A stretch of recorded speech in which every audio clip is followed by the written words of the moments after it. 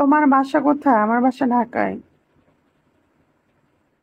কীভাবে কথা বলব? কমেন্টে বলো। আসমানে যাইও না রে বন্ধু, ধরতে পারব না তোমায়। কমেন্টে কথা বলো, কেন? কমেন্টে কথা বলতে মন চায় না? কোন জায়গায়? কলা এসে বলব।